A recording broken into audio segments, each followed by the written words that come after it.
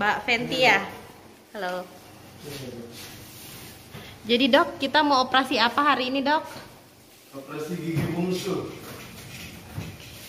Kasusnya ini gimana dok?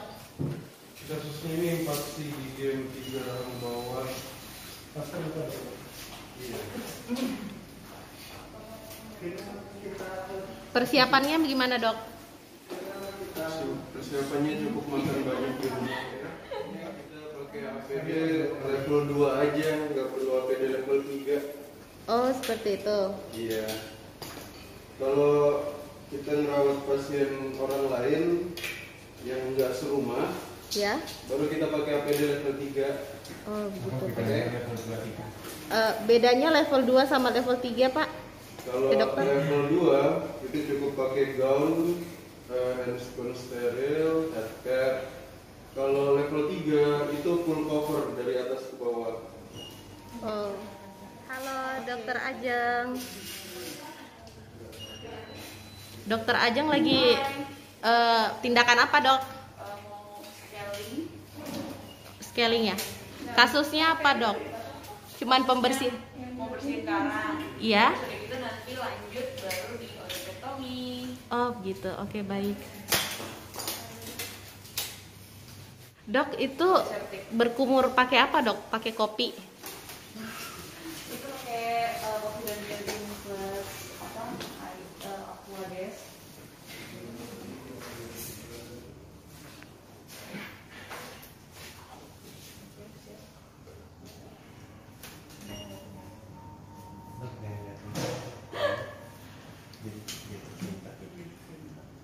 Jadi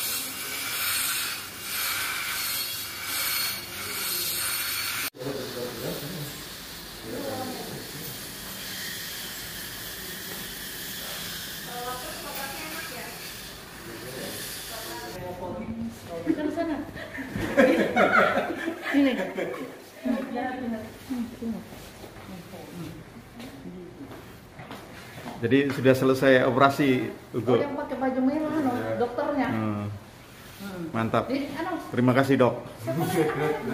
aja aja sebelah dekat. Mesti ditambah. Nah, iya. Ini pas diangkat nih yang bagian bawah nih. Ininya yang di belakang sini nih. Yang di bagian belakang sini pecah dikit. Iya berhasil sih tadi saya cek. Nah, pas ada tak gitu, ini yang pecah. Pecah dikit. Emang dia sudah tipis banget ya. Ajeng, Ini tadi suster siapa? Suster Ulfa. Nah, sekarang Suster Ulfa juga yang mendampingi Dokter Diandra atau Dokter Dinda untuk scaling Sali Dewanti. Oke, mantap sekali. Itu karang giginya yang putih-putih Oh, itu nanti jadi kamera buat biar pasiennya bisa lihat juga jadi pasien bisa lihat ya kondisi giginya. ya Heeh. bisa juga nanti eh, setelah scalingnya kita foto lagi jadi kan pasiennya lihat before afternya Oh ya. Jadi pasien bisa anu ya. Oh sudah bersih, oh Iya. belum bersih itu. Jadi kepu- kepuasan pasien betul-betul bisa dia kontrol sendiri. iya Nah, maksudnya kebersihannya bisa dia kontrol sendiri. Jadi pasien merasa puas begitu. Iya. Bagus. Nah, sudah selesai ya. Peng- Nah, sekarang kita lihat hasilnya. ini kan ada ada karang giginya nih yang putih-putih ini ini ini Udah hilang, udah bersih. ini sekarang Long Yang yang before yang mana? ini atas. ada putih-putihnya ini Oh, itu sebelumnya. ya ini karang giginya Heeh. sekarang udah bersih Sekarang ini hasilnya. hmm. Kalau itu, ini karang giginya yang putih-putih ini heeh. Sekarang udah bersih. nggak ada sekarang udah bersih. Iya. Hmm.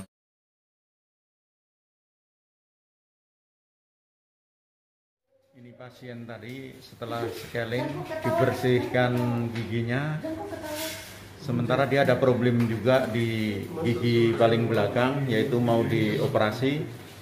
Jadi setelah dilakukan scaling, sekarang mau dilakukan tindakan operasi. Tadi dilakukan oleh scaling oleh dokter Ajeng, semen- Niajeng. Sementara sekarang tindakan operasi dilakukan oleh dokter Yudi SPBM. Ya. Hmm. Ya. Ini peralatannya setelah disterilisasi baru dipakai.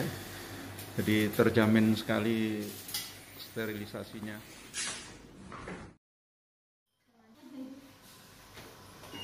Nah, ini pasien berikutnya Ibu Chandrawati dilakukan tindakan oleh dokter Diandra.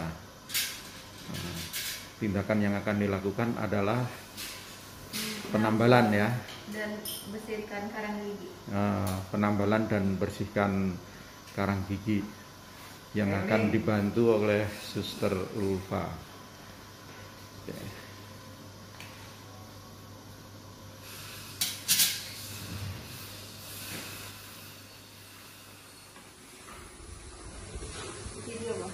Nih mau dimulai scaling pembersihan karang gigi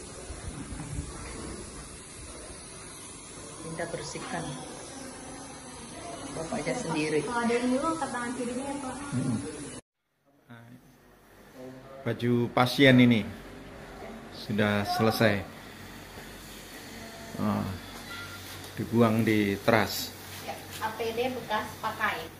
Iya. Prosedur setelah selesai dilakukan tindakan di klinik South Dental, kursi dan meja tadi sudah disemprot dengan desinfektan, alas di meja alat juga sudah diganti, kemudian alat dicuci oleh Mbak Fenti, Mbak Fenti alat setelah dicuci nanti kami masukkan ke kotak alat. Yang selanjutnya akan dilakukan sterilisasi di ruang sterilisasi. Kami yang ada di maka ruangan kami matikan lampunya kemudian kami tutup.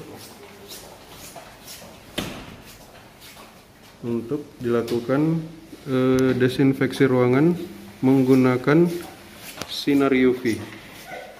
Di mana sinar UV ini fungsinya untuk eh, virus-virus dan bakteri-bakteri yang apabila terkena langsung sinar UV maka akan mati dan di dalam ruangan sebaiknya tidak ada orang selama 15 menit ke depan karena sinar UV ini dapat mengakibatkan eh, resiko kanker pada kulit menjadi lebih tinggi.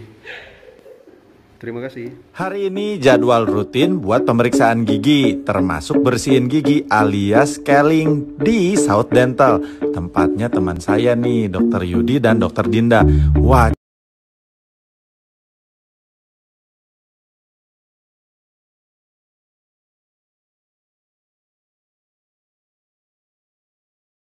Jeep keselamatan dan kesehatan nomor satu apalagi zaman corona begini. Nah selain dibersihin sekalian deh di bleaching juga biar giginya putih bersih alami. Gak percaya? Nih kita lihat ini dia beforenya. Terus ini afternya. Wuh, thank you South Dental. Thank you Yud. Thank you Dinda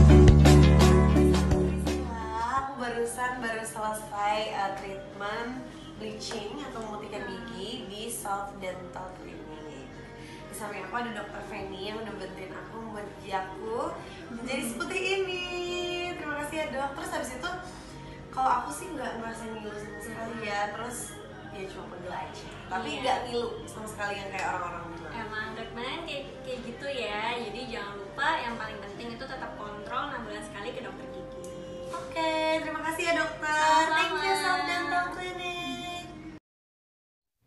karena kinerja yang bagus, kemudian peralatan yang memadai, dokternya yang berkompeten, sehingga banyak sekali para selebritis, sosialita, para elit yang menjadi langganan shot dental. Ya, kita makin percaya dengan shot dental. Terima kasih semua.